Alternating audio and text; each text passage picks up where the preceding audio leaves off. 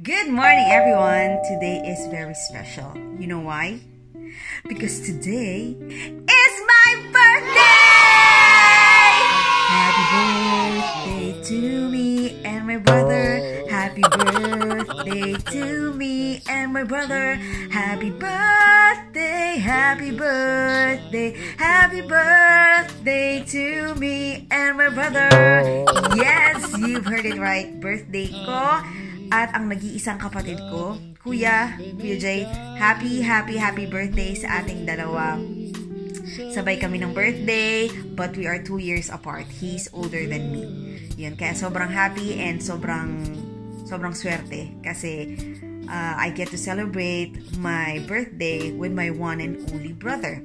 Yan, which is kinda smart for my parents kasi tipid, no? Naalala ko nung bata pa kami, tuwing mag-celebrate kami ng birthday ng kapatid ko, laging dalawa yung cake. Pink at saka blue. Tapos, laging magkasama yung friends ko at saka friends ng kapatid ko. Yun. So, para isang celebration lang. Anyway, yan, as I turn a year older, I'm very happy and I'm very thankful that I get to spend my special day with the people closest to my heart. People who are really, really dear to me. Later tonight, uh, we're gonna have dinner at my favorite, one of my favorite restaurants. Parang every special occasion yata na sineselebrate ko sa buhay ko, dun ko wini-wish na mag-celebrate. Kasi wala lang. Gusto ko lang talaga dun. Yan, and um, I'll be with Seb and Seb's family, Seb's mom, Seb's sister, aunt, ayan, and etc. etc. Yun. At uh, mabanggit ko lang sa inyo, no? I'm so grateful uh, because Sebes family is really, really, really nice. Alam niyo yun, wala ako masasabi, hands down, sobrang bait, uh, sobrang well-mannered, and sobrang smart. And uh, they really have values. Yun. Kaya sobrang, sobrang overwhelming lang ng feeling na ganun yung kasi ng family na meron si Seb. But of course, above all that, yung puso nila talagang mabubuti silang tao. Ayan, yun yung pinaka-importante sa akin. As soon as I moved here in Sweden, alam niyo yung warmth, yung appreciation, and yung yung affection, yung uh, yun, yung acceptance nila sa akin, talagang pinaramdam nila sa akin all the way. Talagang parang, ano yun, talagang hindi ko na feel na left out ako or ibang tao ako. Talagang as in family. Especially Sebes mom and sister. Kasi kahit naman hindi pa ako uh, na nag, nag-move dito sa Sweden, we used to travel together. Nung nag-work ako sa China, we would meet uh, in a certain country, for example, Hong Kong, and then we would travel to other countries. That day on, hanggang ngayon, hindi nagbago sila sa akin. Mas lalo silang bumait, mas lalo ko silang nakilala, at mas lalo ko silang na-appreciate. Ayun. So, sobra-sobrang thankful lang ako. Kasi para kami magkakabarkada lahat-lahat. Especially pag magkakasama kami, as in, kaming lahat talagang masarap lang yung feeling na ganon yung, yung family. Na kahit malayo yung, yung sarili ko pamilya, uh, hindi ako nalulungkot and yun, sobrang overwhelming lang ng feeling. Ayan, tapos na yung aking speech. Ayan, mamaya, mga around uh, 3 o'clock, extra special din because I'm gonna meet my dear friend, Nelly. Nelly, Nelly, Nelly, thank you so much. Ayan. Nelly is one of the first few people that I've made friends with during my earlier months here in Sweden. Mamaya ipapakilala ko siya sa inyo and I'm sure you're gonna like her. She's from Greece, by the way. Ayun, so mag-aayos na ako, magbo-brunch na. Uh, alam niyo naman ang bagal ko kumilos. But anyways, ay, hap, ay, happy, happy birthday. Thank you so much pala ha, dun sa mga, kasi pag bukas ko ng phone ko, sobrang overwhelming yung greeting sa akin. Uh, yung mga nag-DM sa akin, yung mga nag-post sa timeline ko. Maraming maraming salamat po. Sobrang, yung mga kahit hindi ko ka-close and hindi ko kilala, nakaalala ng aking birthday. Maraming maraming salamat. So, I'll see you later. Bye! Mwah! Happy birthday, kuya! Hi guys, so nandito na ako sa city. Nimit ko na yung aking friend. Umaambon-ambon. Sabi nila pag birthday mo tas medyo umaambon-ambon. Magandang senyalis daw. Blessing. Ay, parang nakikita ko na si Nelly. Ayun, oh. Mamaya, papakita ko siya sa inyo. Sige, guys. Hi! so much. I miss you. Okay, so as I've mentioned earlier, I'm celebrating my birthday with Nelly. My closest, closest friend. We've missed each other very much. Yeah. We're talking on uh, chat, but we don't meet very often because uh, we go to two different schools after which is kind of sad. But now We're just Yeah. We're just... parang parang,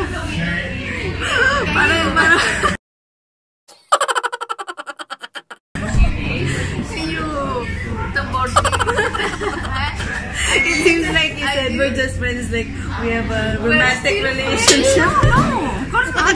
Siyempre, I'm sorry. Ah. Ibig sabihin, kahit na nagkaiba kami ng school, friends pa rin kami. we are still friends. Yeah, hindi kami magjowa. Ayan, we're not boyfriend or we're not girlfriend.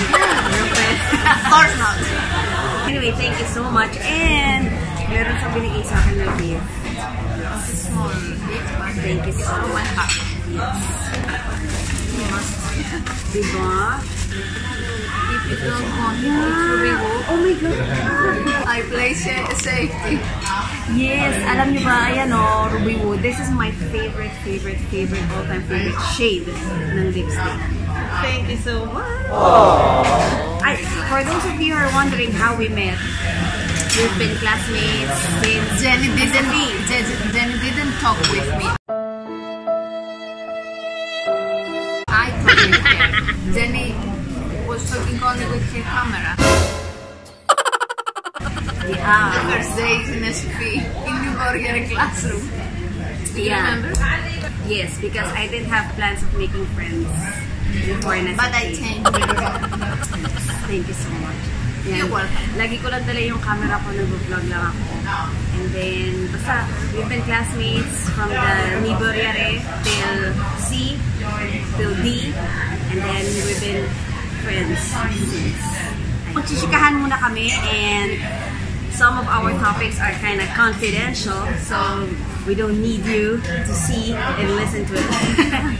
Sige, I'll see you later. Bye! Thank you so much.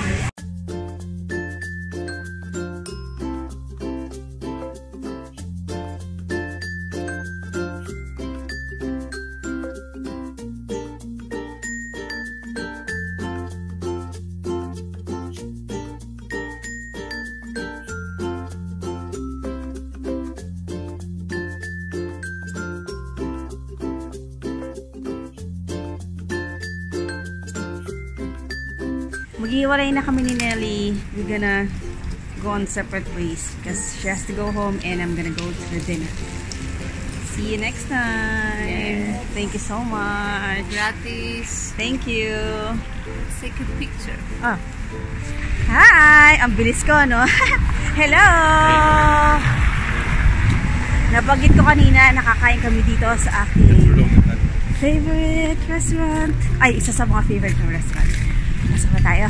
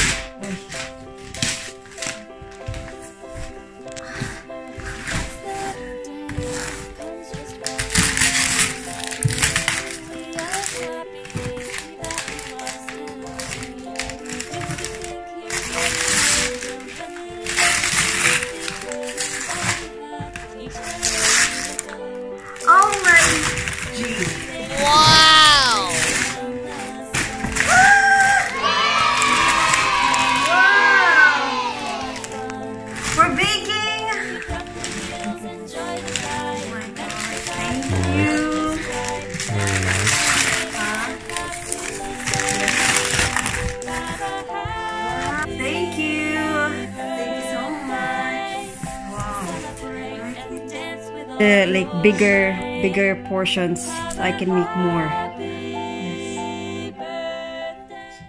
Hello, ayan. Magpapahinga na kami. It's been a great day for me. Thank you so much for making my day extra special. You're welcome.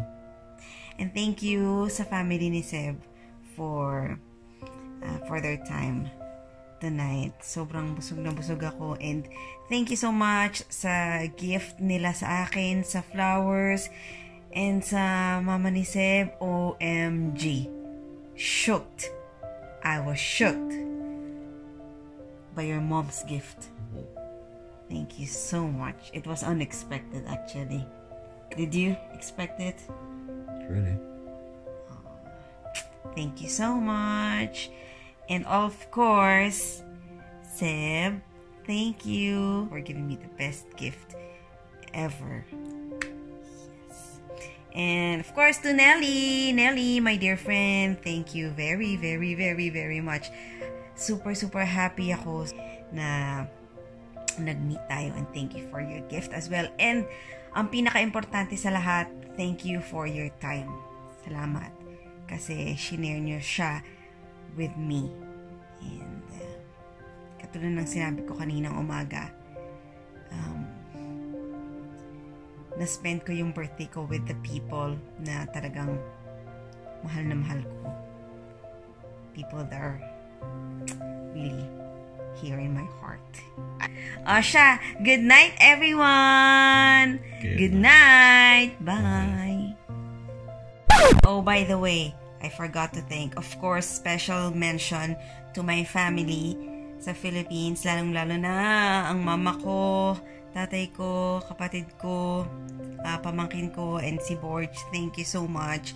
Sobrang natatouch ako kasi kahit nung nasa China pa ako, hanggang sa nag-move ako dito, every time na ah, hindi ako nakakapag-celebrate ng birthday ko sa amin, they make it a point na yearly pinaghahanda talaga nila ako and I appreciate it with all of my heart. Yan. And hopefully, next year, uh, I get to celebrate my birthday with them. Right? Yay! Iyon lang. So, I love you, Ma. I love you, Tay. Kuya, I love you so much. Every day, every day, every day. I love you. I love you, babe.